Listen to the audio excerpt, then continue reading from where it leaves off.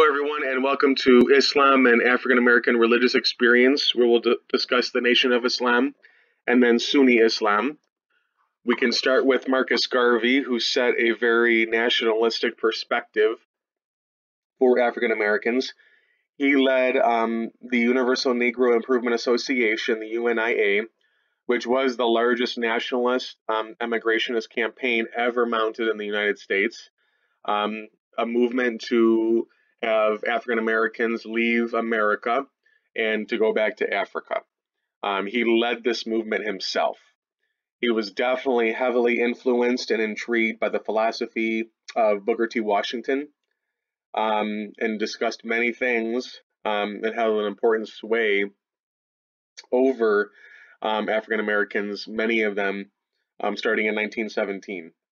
Um, he asserted a really independent nationalism that African Americans are a chosen people selected by God for greatness, as seen in Psalm 68 with Ethiopia, and that God's plan for African Americans can be fulfilled um, once Africa allows and you know brings forth and welcomes this emigration out of America again into Africa. Um, he had elaborate offices, um, rituals, uniforms, um, he called for a Negro independent nationalism, a nation um, on the continent of Africa. Africa for the Africans was his catchphrase. Be proud of your African race. God made the African race perfect. Um, that, that helps kind of set the scene for this nationalism that we see in some of these Islamic groups for sure. Before we get into the Nation of Islam, we also definitely have to discuss Noble Drew Ali, who founded the Moorish Science Temple in 1913 in Newark, New Jersey. Um, he told his followers that he had a conversation with the King of Morocco, Morocco in North Africa, being the original home of African Americans, um, and gave him these personal instructions to educate African Americans in the religion of Islam. This was his central mission, his calling in life as the last in a line of great prophets before him. Um, he rejected white supremacy, um, and he changed this focus to Moorish Americans or Asiatics. That was the real term for African Americans. They shouldn't be called African Americans anymore, but Moorish Americans or Asiatics. Um, he had himself and his followers wear special clothing with red fezzes for men and women wearing long dresses and turbans, and they all had identification cards which clearly marked them as members. Um, he wanted to bring together um, his followers living in the Americas, Asia, and Africa as a cultural complete whole under one religion. Um, he told his followers to think of themselves as Muslim, as Muslims um, of the Moorish Science Temple, but who embraced all of the world's great prophets, including Jesus, Muhammad, the Buddha, Confucius, and of course Noble Drew Ali himself, and he was considered by his followers to be the reincarnation of the Prophet Muhammad. Sadly, he was murdered in 1929 because he rejected profiteering, um, profiting money making schemes, um, financial gain from those who wanted to sell items um, connected to him and this Asiatic heritage but he is seen um, to be reincarnated in the world, and each in each sheik or chieftain leader who leads a temple associated with this movement, this Moorish uh, science temple movement. Some argue that Master Fard Muhammad, the founder of the Nation of Islam, was one of his many reincarnations of Noble Drew Ali, but of course the Nation of Islam does deny that. Master Fard Muhammad um, was the founder of the Nation of Islam. We, we don't know much about his early life. Um, he does he, he's very mysterious. He appears in Detroit in the 1930s, selling silk door to door. Um, and he tells everyone that he came from the area where the silk was produced, and told many others that he came from Mecca, um, the holiest city on earth for Islam, um, a city in Saudi Arabia where the Prophet Muhammad was born in 570. But there's other reasons for why it's the holiest city. It's the city that you face for your five daily prayers um, as a Muslim.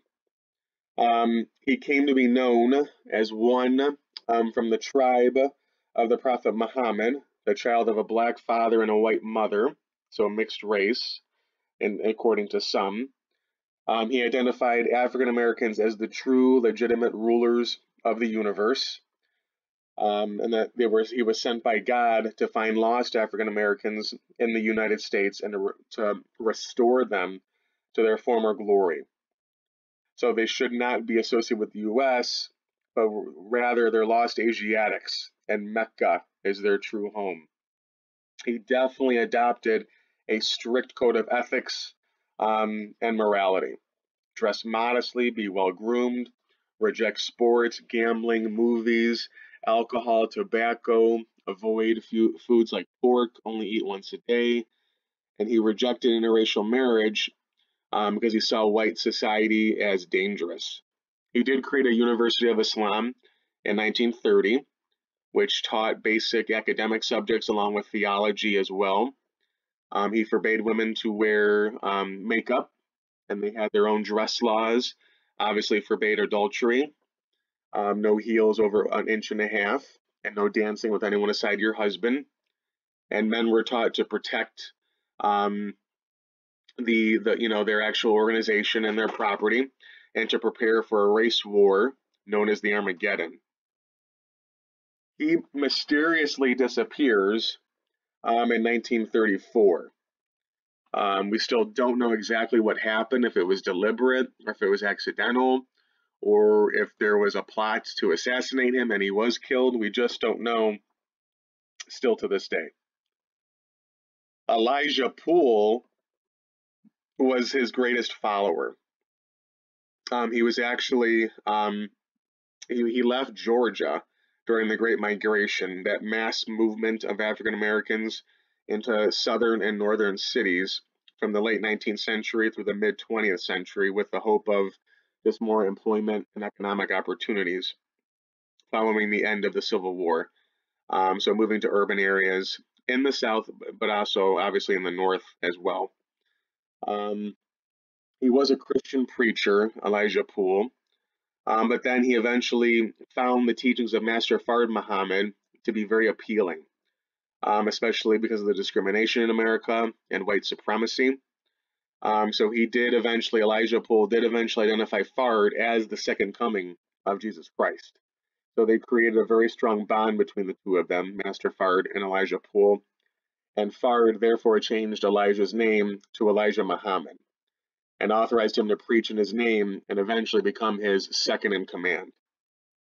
After Fard's disappearance in 1934, Elijah Muhammad knew he had to leave. Um, if he remained in Detroit, he would also be eliminated or disappear, um, just like by at the hand of his rivals. Um, so he fled to Chicago. Um, he preached, Elijah Muhammad preached that Master Fard was Allah incarnate in the flesh, Allah in human form on earth, and that he himself, Elijah, was the messenger of Allah, commissioned to teach African Americans about their true nature as the original people of the earth, that they were godlike and destined to rule the universe. He did institute a Savior's Day, February 26, which was Fard's actual birthday. He referred to whites as devils, created by a wise yet insane scientist named Dr. Jacob. Allah and the wise scientists, that they construct human history in 25,000 year cycles. One scientist serves as a judge and monitor and allowed for the historical devil race to rule people of African descent for a set number of years. Domination was allowed to happen because African Americans strayed from the true religion of Islam and they had to be punished, thus, to allow them to eventually return to their greatness. So, thus, the Nation of Islam was created um, to re educate African Americans about their true nature and religion. Eventually, whites would be destroyed, um, or some there would be some who would allow to have redemption would occur for them. So his teachings were very apocalyptic. Um, the earth will be purged in fire. The faithful of God, those faithful to Allah, the Nation of Islam's membership, will build a new nation with a pure government. Allah's creation of the devil, the white race, would allow for Allah to show how he how he will eventually conquer evil, and thus a new paradise will begin from that new government um, by the Nation of Islam's membership. Self sufficiency was definitely a central teaching of the Nation of Islam, expressed through its focus on farms and their own businesses like restaurants and other ventures. Um, but he did call on the government, um, the American government, to provide funds enough to sustain it for you know about 20 25 years reparations something overdue for the wages uh, for centuries of obviously slave labor that went uncompensated um, itself so um, the honorable elijah muhammad um, was identified as the spiritual head of muslims in the west and while he was still alive new members would write him a letter to their headquarters in chicago where I'm asking for a new name to replace their slave name given to them, their last name. Until that new name was given, members would use an X. Each local temple had a minister who obviously spread the Honorable Elijah Muhammad's teachings, um, who were assisted by the captains of the Fruit of Islam, a male group. And then the women also had their own group as well too. The Fruit of Islam would protect the nation of Islam from external threats and internal squabbles and, and fighting. Um, Malcolm Little, so Elijah Poole is the Honorable Elijah Muhammad. Um, Malcolm Little becomes Malcolm X. Malcolm Little um, did live a life of crime, was imprisoned. He was released in 1952. Eventually, he became the assistant minister of the Detroit Temple, number one, in 1953, he was extremely charismatic. He definitely knew how to handle himself with all the media exposure that he had. He moved upwards. He was elevated through the ranks and became the second in command, Elijah Muhammad's national spokesperson, actually. But he did witness um, Elijah Muhammad's moral failures, uh, moral and where he couldn't even follow his own moral and ethical guidelines that he himself established. Um, he it said that he knew Elijah Muhammad was committing adultery and fathering children outside of his marriage. Um, and he didn't appreciate how the Nation of Islam did not actively participate in the civil rights movement. So those two reasons led him to break away from the Nation of Islam and convert to more mainline, mainstream Islam called Sunni Islam in 1964 the vast majority of the world's Muslim population is Sunni. It's basically 90% of all Muslims in the world are Sunni, Sunni Muslim. He was silenced by the by Elijah Muhammad um, in late 1963, following the assassination of JFK, and there were already several attempts to kill Malcolm X at that point. Um, but he leaves fully, and he actually participates in the Hajj in 1964. Um, the Hajj is the annual um, pilgrimage to Mecca in Saudi Arabia. All Muslims are commanded to visit Mecca once in their lifetime when they're financially and physically able to do so during the month of Hajj. The Hajj typically gets two to three million people, Muslims, a year. Muslims from all over the world, from all different countries, races, ethnicities, and obviously both genders. So on the Hajj in 1964, he saw people of all these different races coming together. He witnessed equality when he celebrated the Hajj. He saw cooperation. Um, he saw how races work together, white and black, and of course others. So that really changed his thinking um, about just racial dialogue and different races working together. And so he quickly fully embraced Sunni Islam. And when he returned, he created the Organization of African American Unity and the Muslim Mosque Incorporated, fully ingrained in the Sunni Islam movement. Unfortunately, he was assassinated in 1965. We still don't know the full story of who was behind, without a shadow of a doubt, um, his assassination. We still don't know, sadly.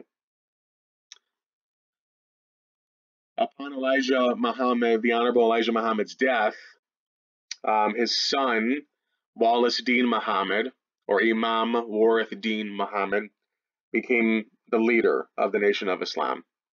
So the son succeeds his father.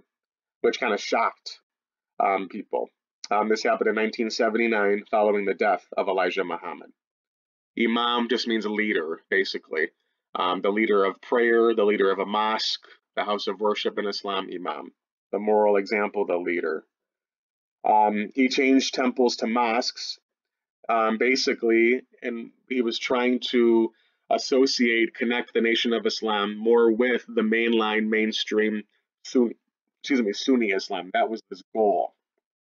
And so he changed temples to mosques. He removed inappropriate elements and symbols. The stage in, in a mosque was moved, so the minister was on the same level as the congregation, which is very important in Islam. He focused on the five pillars of Islam. So, Shahada, the testimony of faith. I bear witness that there is no God but Allah, and Muhammad is the messenger of Allah. Um, you have the five daily prayers. You have the Hajj, the pilgrimage to Mecca. You have zakat or charity. Everyone is commanded to give at least 2.5% um, annually to an organization um, of their choosing. Um, those are just some of the uh, of the five pillars um, of Islam. So he tried to connect um, the, these African American Muslims of the Nation of Islam more with the worldwide mainstream um, religion of Islam itself. and he changed the name several times um, of the Nation of Islam to the World Community of Islam in the West um, and the American Muslim um, mission. And then he welcomed um, non African Americans into his movement. And importantly, he said that Master Fard was not Allah, but simply a Muslim teacher. And Elijah Muhammad was not a divine messenger. Um, he was not the last prophet. Muhammad was. Um, so he really changed the nation of Islam. But not many people within the nation of Islam accepted those changes, and so they reverted back to many of the original teachings of the founder, Master Fard Muhammad, and his successor, Eli- the Honorable Elijah Muhammad, um, under the leadership of Louis Walcott, who is Louis Farrakhan. He reverted back to the original teachings. He was actually selected and trained by Malcolm X. He didn't like, again, Warith D. Muhammad's changes to mainstream Islam um, whatsoever, whatsoever. Um, so he wanted to return some of the teachings of Elijah Muhammad. He didn't see whites um, as devils, but the seeds of white supremacy were demonic. Um, he was definitely much more politically engaged um, instead of Master Fard and Elijah Muhammad. Um, so he really, really toned down Elijah Muhammad's separation of the races, emigration, let's have a separate nation in America, or let's emigrate back um, to Africa. And the one pillar I didn't say uh, was here that I can mention now is Ramadan. All Muslims are commanded to fast during the ninth month in the Islamic lunar calendar called Ramadan. The fasting is called Sawm, the, the fasting during that month. Um, he actually celebrated that in 1986 and went on the Hajj the year before in 1985. He is known for being anti Jewish with anti Semitic rants. Um, unfortunately, oops, I spelled that incorrectly. I apologize. Semitic there. Um, and then supporting probably maybe some Libyan terrorism with Muammar Gaddafi while Gaddafi was still alive and maybe he played a part in the Malcolm X assassination, actually. Um, there's no definitive proof, but a lot of people have their suspicions, sadly. And he was very successful in organizing the 1995 initial Million Man March in DC, which actually probably had over a million uh, men following. So quite successful. And he is still alive, still alive, Louis Farrakhan. El Hajj Malik El Shabazz is Malcolm X, and his name change, um, you are allowed to incorporate the El Hajj at the beginning of your name um, once you've completed the Hajj, that once in your lifetime pilgrimage or journey to Mecca. Um, so he did that um, and thus changed his name accordingly. And of course, the other parts too. Um, he definitely moved away from the teachings of the Honorable Elijah Muhammad by becoming a Sunni Muslim um, and more connection with the world community of Islam. because again, at that Hajj, he saw equality um, among different among different races. It wasn't just fake. It wasn't just an illusion. There was a unity um, within the community of people there um, in Mecca. There's this whole different social and cultural, um, racial and ethnic backgrounds, but there was a cooperation of all the races there. Um, by the end of the 20th century, there are over 1 million African American Muslims making Islam one of the fastest growing traditions in the African American community and in the US um, in general, too. All right, everyone. Oh, and then Islam in Africa. So, um, Muhammad was born in 570 CE and dies in 632. Um, in all in Saudi, all in what we call Saudi Arabia today. He was born in Mecca, and he dies in Medina um, which is about 270 miles north of Mecca. Um, Islam is, has already spread into Ethiopia, North Africa, and then East Africa by the 800s, and then into West Africa, thus definitely making it a part of the eventual slave trade itself. 5 to 15% of enslaved Africans um, would have been influenced, at least by Islam. That means 200,000. Not saying that they were Muslim, but at least influenced, impacted by Islam, for them being obviously forcibly remo- removed out of Africa and brought to the quote unquote New World during the slave trade. So 200,000 is a big, obviously a big number. And there are some examples there. Uh, we know, you know, there are obviously slaves who were Muslim based off their names from Georgia and North Carolina. You see two examples, and based off um, their, their limited knowledge, maybe of Arabic and then them needing to pray um, several times a day. And then African American, more you know, mainstream Islam. Um, you, you have three examples here: the Islamic Mission of America um, by Sheikh Dawood Ahmed, um, or also known as the State the State Street Mosque or the Islamic Brotherhood.